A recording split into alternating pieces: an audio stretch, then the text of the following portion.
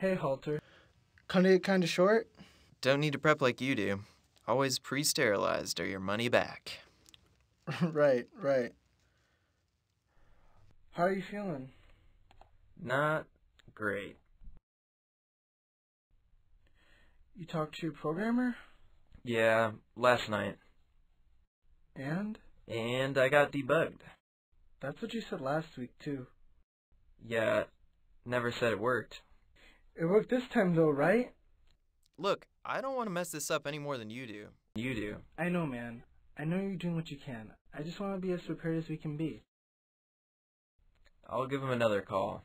Alright, great. I'll prep the patient. Hey, Alter. How's my favorite bot doing? Are you really gonna send me out like this? I'm great. Thanks for asking. Well, I'm not. Ian, you know what they said. One more botched job and... One more botch job, and I get to recycle all your parts for a bot who knows basic phone etiquette. You whined about it last night, Holter. You just need to calm down. I can't calm down. You know I'm gonna freeze again. The minute I see wires or, or oil, the minute we crack this guy open, the bugs... That's not the bugs, Holter. That's you. You came in last night, you came in before last week's job, and you came in the time before that.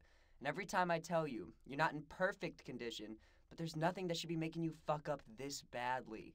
Nothing that should make you this nuts about getting your hands dirty. You botched the job today, that's on you. On me? You programmed me. I sure did, which is how I know I did it right. Now go out there and try and do what I programmed you for. Try and make me proud.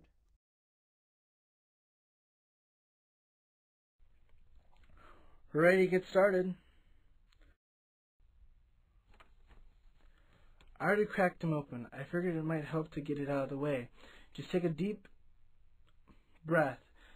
Take a deep breath and focus on my instructions.